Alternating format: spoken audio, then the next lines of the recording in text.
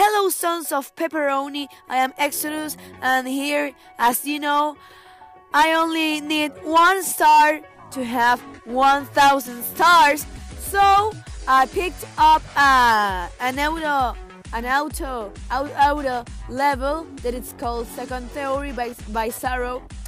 And then I'm gonna receive that um, Cyclics icon. Well, I call it Cyclics icon because it's uh, the icon Cyclics uses, but it's the 1000 stars icon that I don't like it so much. But I will see if is if I like it with the with these colors that, that, that I use and with the glow and all that stuff. I don't like auto levels, but it's only for picking up uh, one star that I need. That is the 1000 stars. And that's all. We're gonna wait for the level to pass.